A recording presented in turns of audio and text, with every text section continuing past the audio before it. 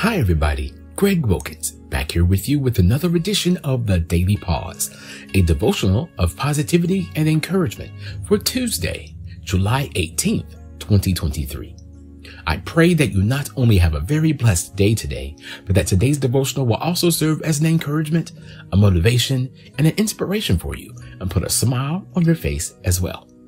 If you enjoy this episode of the Daily Pause, hit that like button down below and feel free to share this devotional episode with anyone you feel may be blessed by it. And catch more episodes of the Daily Pause by checking out my Facebook page, The Daily Pause, my YouTube channel, Gregg Wilkins, and follow me on Twitter at Gregg Wilkins 78. There, I would love to hear your comments and your comments about this episode or the Daily Pause in general. And feel free to leave um, devotional topic conversations that you'd like to see discussed, as well as birthday and anniversary shout outs for your friends and loved ones that are announced at the end of every devotional, as well as submit your own um, notes or video for a daily pause, inc- including your own encouraging words that you would like to share.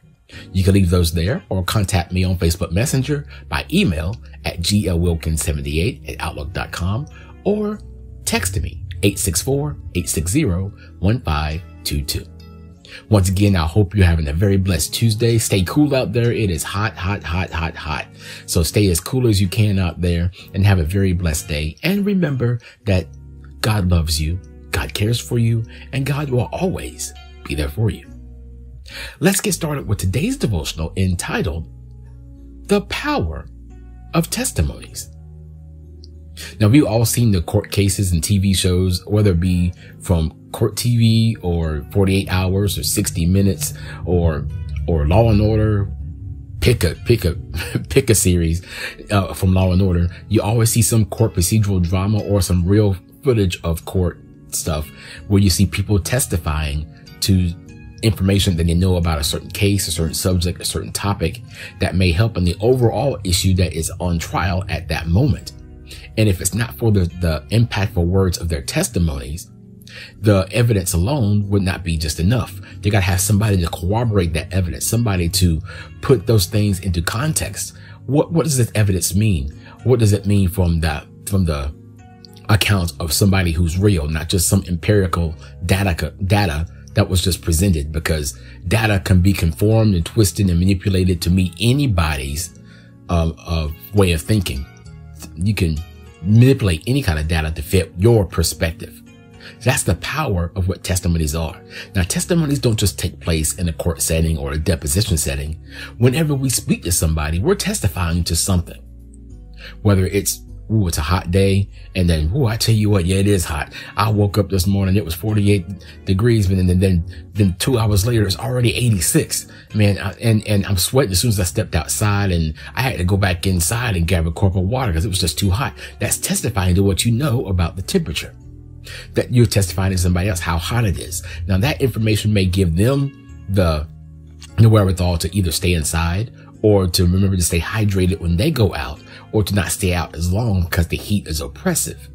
That's a testimony. And we, and we see all the commercials on TV. We see all these, one of the ones I see or hear a lot, especially on the radio. I listen to, to Sirius XM a lot and uh, I hear a lot of the Optima tax relief commercials and they always have somebody who's talked about, well, I was in debt $75,000 and they, they, they foreclosed on my house. They were, they put a lien on my, my home and my checks. I was in trouble, but I called them and, and they helped me relieve my, my, my, my issues for $2,000. It was just easy as one, two, three. I just had to call the number and they, they testified to the account they were going through and what they did to remedy it. And a lot of people use Optima tax relief for that reason.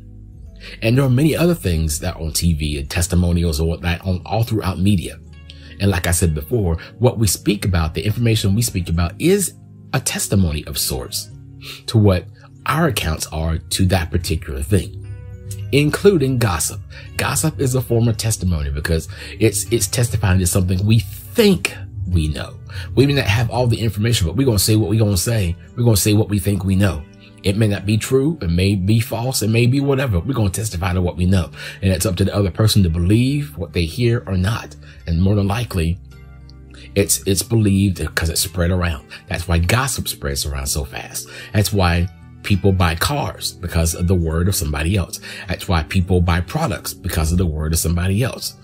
Tourists go to certain places and go to certain restaurants go to certain sites because of the word of mouth of people who live there that they testify to whether that place is good or bad to go to. So there's power in testimony. And it made me wonder with all the power of testimonies and all the ways that we share information and confirm what we think we know or what we do know for certain without a doubt about all the things going on in this world and all the things that are going on in TV and all the products and all the things that we buy and purchase and all that kind of stuff. Why do we as a body of Christ not testify more about the goodness of God?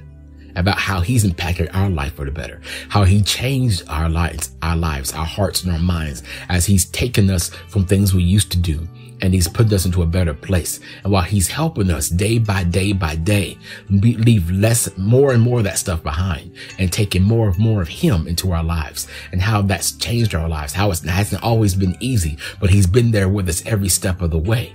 Why do we not testify about that more? There are a couple of theories in my head. One is sometimes we don't want to impart too much on people. We don't want to uh, push on people too much, which is true. I'll, often say on this devotional, you can't really testify to the goodness of God by smacking somebody over the head with the Bible and condemning them to hell before you even know who they are or what their situation is. You can't force yourself on somebody. My, my pastor, Apostle Willie Rickard, has always taught us and always implored on us to reach somebody where they are, not expect somebody to be where we are because we don't know who we, what they're going through. Just have a conversation with them. Just be friendly. Just be, have a conversation with them. And when the time arises, introduce your testimony to how God has helped your life be better at the right place at the right time and in love. It's because God introduced himself to us in love. So why do we not do the same thing to others? Another reason that pops into my mind is just that sometimes we just don't believe what we hear anymore. We, we have got so selfish and it's all, I'm, I'm all out for me. I'm out for me. You better get yours. I don't care how you get yours, but you just leave out and get out my way. And sometimes we get in that form of mind, but we all have been through something. We all have a testimony to share with somebody how we've gone through something. We may not be able to reach everybody, but we'll reach someone because someone's watching us. Someone's watching us. And that's another thing. We've got to be mindful of how we carry ourselves and where we carry ourselves. If we're going to testify to the goodness of God, but then talk about our brothers and sisters behind our back, someone's not going to believe that the love of Christ is in us if we're so willingly talking about any and everybody just like that. So we've got to be willing to live the changed life that we speak about. And we've got to be able to exemplify the testimony in which we exude, which is why it's so easy for us to believe gossip because we, we sometimes re, we, we act out the gossip we live, what do we speak about? We act out those pss, pss, pss, moments that we talk about because we so quickly talk about each other. And that's why so many people in the world just uh, rather give up than to be encouraged. But yet and still the world is still hungry and starving for an encouraging word. They're still starving for something that can bring them out of their misery, out of their calamity, out of their chaos. And we have the answer within us because Jesus Christ has changed our life. So why are we waiting for something huge in our life to testify about? Like I said on yesterday, the mere fact that we are able to wake up to see another day is a testimony in and of itself.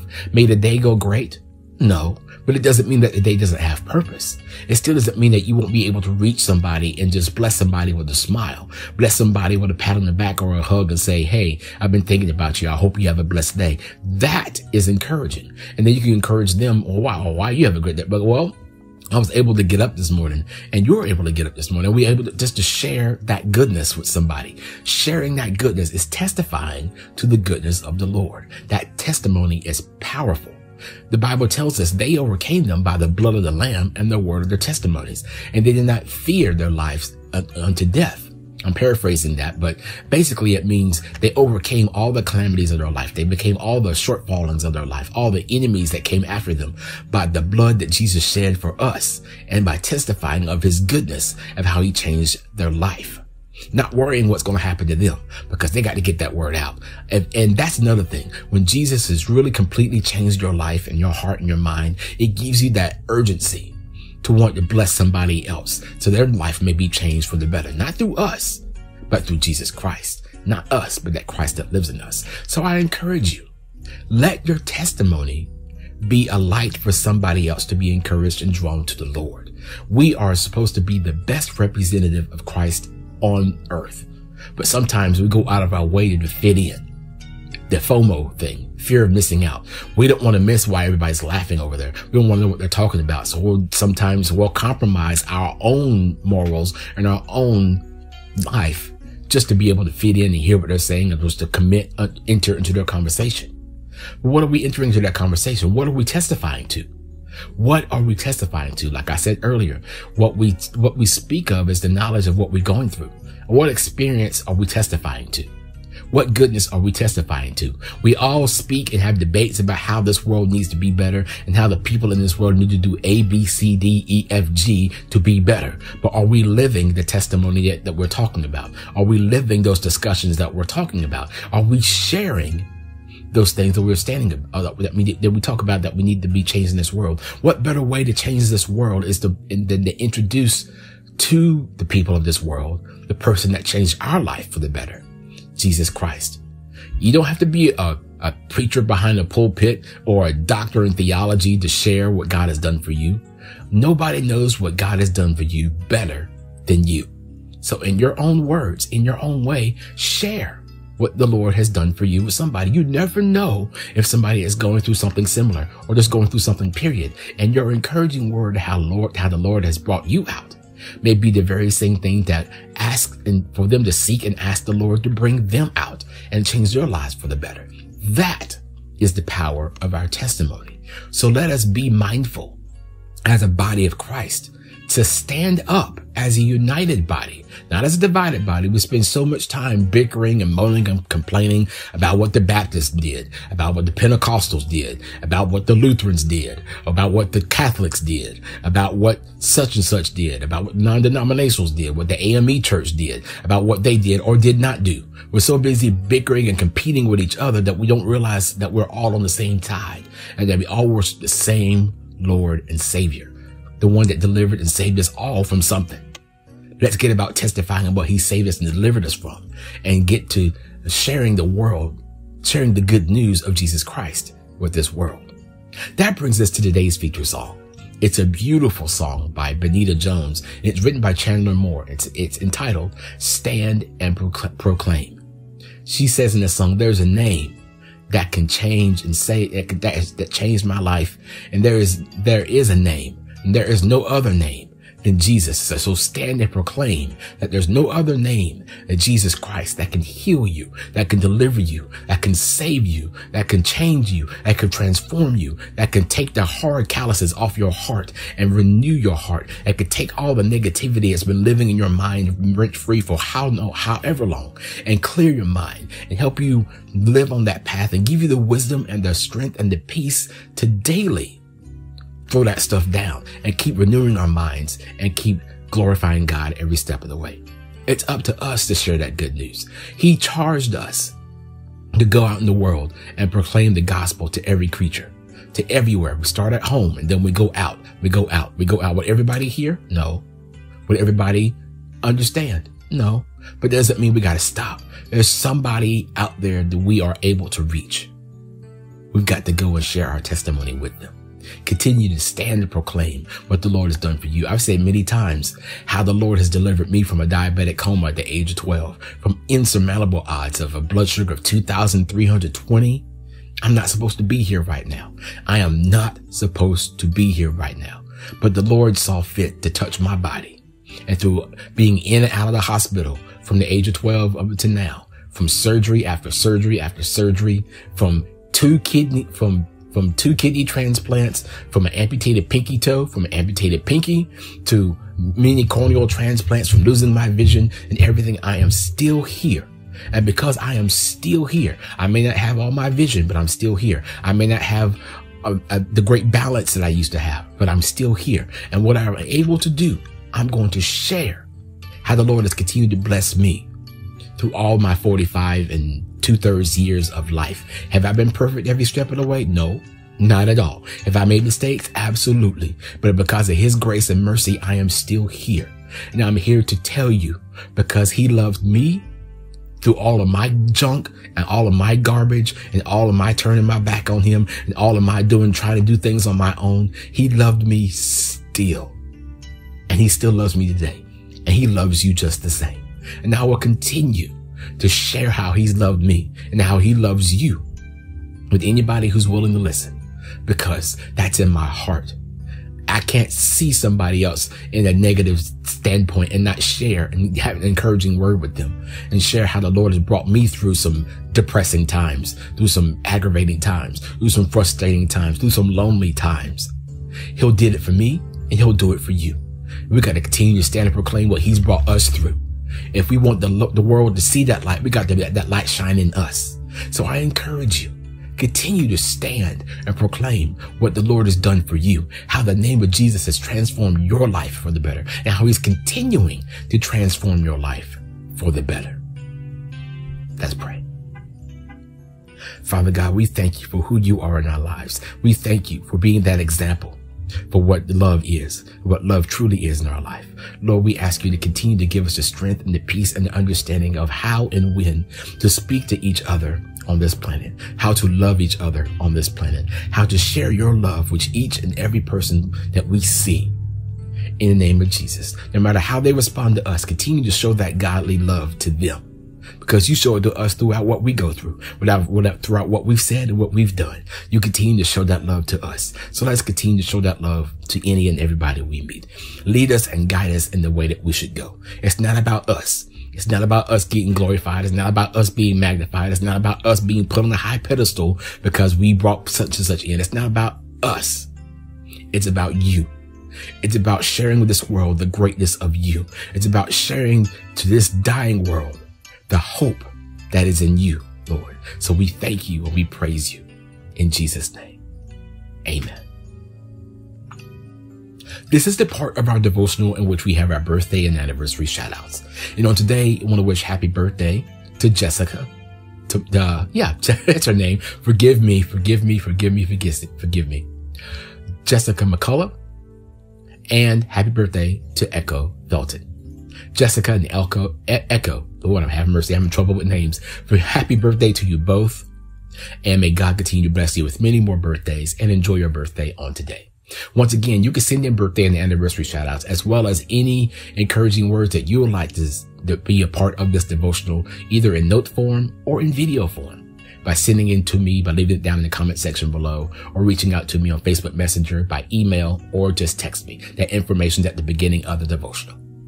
Now, I hope you had a very blessed day. Thank you for watching today's today's devotional. I pray it's a blessing and an encouragement for you.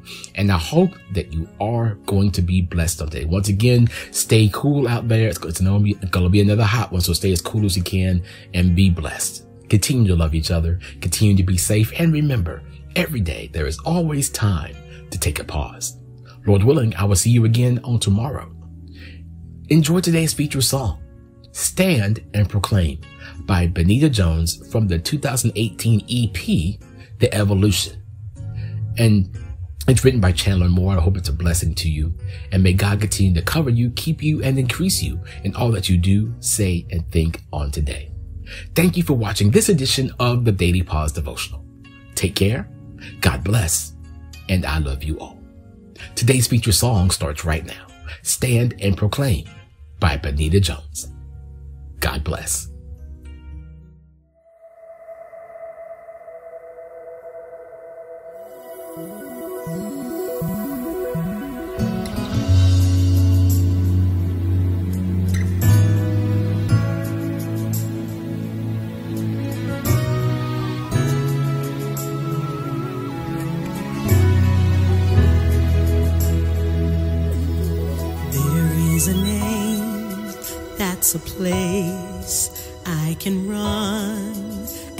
There is a name that can heal, calm my storm, peace be still.